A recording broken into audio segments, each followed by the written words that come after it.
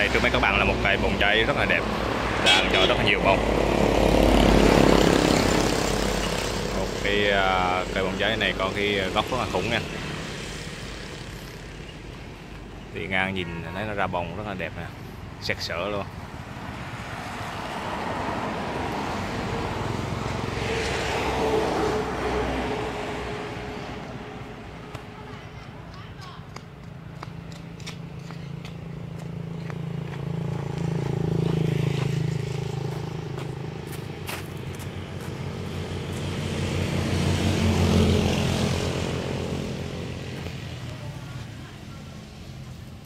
Cây bằng giấy rất là đẹp các bạn. À, này cái gốc thì à, khá là lâu năm. Bên trong gốc này bị hư hết rồi còn lại lớp vỏ ở ngoài thôi.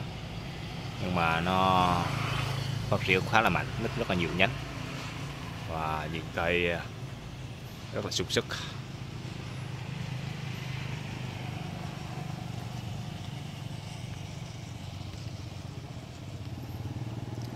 Hoa rất là dày. Thì cái này à, chỉ có nguyên một màu đỏ thôi. Quả giấy thì nó có rất là nhiều màu khác nhau.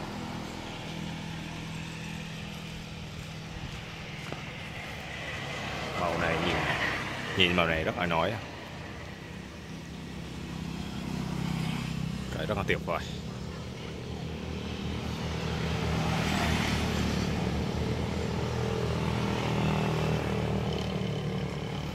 Lâu lắm mới gặp những cây à, bông nhiều như này. Cây trồng trong chậu luôn. Cây này trồng trong một chậu á, chứ không có trồng ở ngoài. Có lẽ là nhờ à, trồng trong chậu cho nên à, nhiều bông như thế này. Vì trồng trong chậu thì mình dỡ điều tiết cái lượng nước cũng như cái lượng dinh dưỡng cho nó. Còn trồng nếu mà trồng bên ngoài thì mình không có chủ động được. Nhiều khi trời nắng hay là rỡ nó đi thì tự kiếm thức ăn. Nên mình không có chủ động được. Thì bông giấy thì à, tùy theo cái kỹ thuật trồng mà mình có thể chủ động cho nó ra bông. Bông nhiều thì bông ít thì phụ thuộc vào cái à, kỹ thuật kỹ thuật trồng. Sẽ ra bông nhiều hoặc là bông ít. Thường thường mà thừa dinh dưỡng hay là thừa nước thì nó rất là ít bông. Nó sẽ phát triển lá và cành còn mình à, cho lượng dinh dưỡng hay lượng nước à, hợp lý thì nó ra bông rất là nhiều.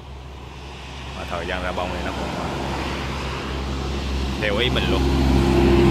Rất là hay.